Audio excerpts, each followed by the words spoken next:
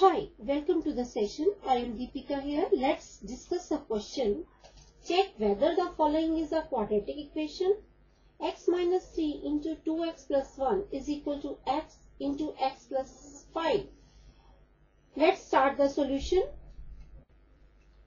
Our given equation is x minus 3 into 2x plus 1 is equal to x into x plus 5.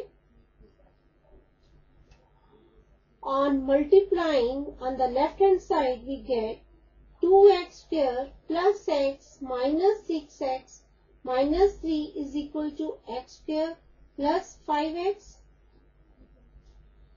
Adding the like terms we get 2x square minus 5x minus 3 is equal to x square plus 5x.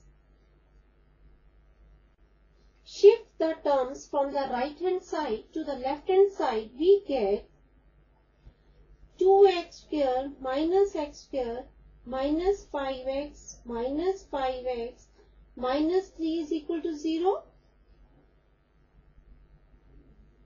On solving this, we get x square minus 10x minus 3 is equal to 0. Given equation is of the form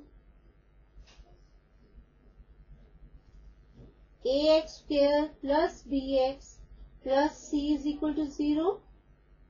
Hence our answer is yes,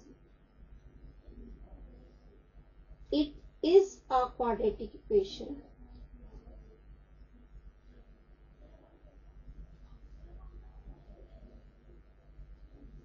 I hope the question is clear to you. Bye and have a nice day.